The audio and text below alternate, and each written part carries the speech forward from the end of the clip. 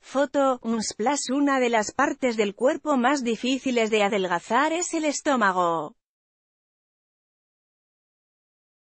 Esta zona es la que más acumula grasa y a veces aunque lleves una buena dieta y te ejercites no logras que luzca como quisieras. Existen muchas razones por las que tu vientre puede acumular más grasa de lo normal, por ejemplo llevar una vida demasiado estresante, lo cual eleva los niveles de cortisol en el cuerpo y produce lipogénesis, que es la acumulación de grasa en el abdomen. Foto, Unsplash Otros factores pueden ser pasar demasiado tiempo sentada la oficina, beber cerveza en exceso o comer demasiada harina, factor que provoca la inflamación del vientre.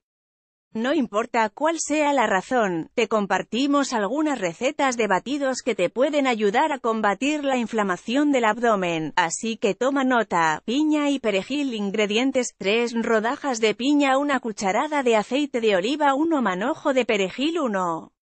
Pedazo de sábila, agua solo tienes que mezclar todos los ingredientes en una licuadora hasta que queden bien mezclados, de preferencia no debe llevar azúcar pero si te parece demasiado amargo puedes agregar un poco de sustituto de azúcar o miel de agave. Leer más, moringa, la planta que te ayuda a adelgazar y otros beneficios que no conocías manzana con linaza ingredientes, 1 manzana roja o verde 1 cucharada de linaza agua 1 cucharada de semilla de chía La linaza es muy buena para desinflamar y mejorar la digestión, lo mismo ocurre con la manzana verde que es rica en fibra.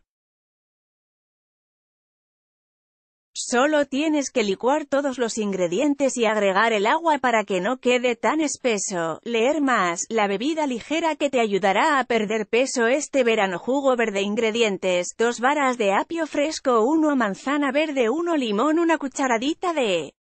Aceite de oliva. El jugo verde es muy popular y existen muchas versiones, no importa cuál hagas siempre recuerda que debe incluir ingredientes verdes pues contienen gran cantidad de nutrientes, quemar grasa perder peso vientre plano como quemar grasa abdomen dietas saludables.